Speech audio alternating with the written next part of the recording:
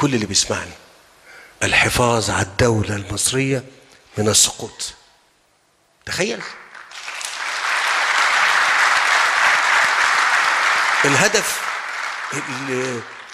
ليل ونهار إحنا قاعدين عليه هو الحفاظ على الدولة المصرية ومنعها من السقوط. هي دي الحكاية.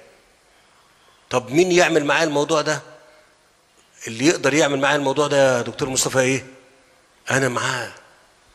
إذا كنا بنحب بلدنا.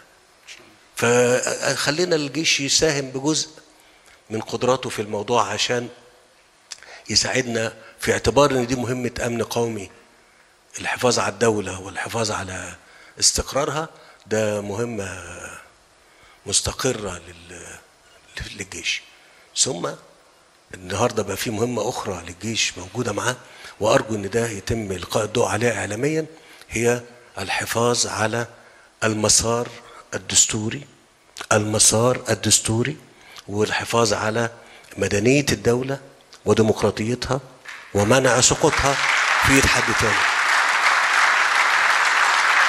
معلش أنا ما بعدتش كتير بس أنا بقول الكلام دوت لأن القوات المسلحة بقت دلوقتي مسؤولة بطبقا لنص الدستور في الحفاظ على الدولة المدنية في مصر.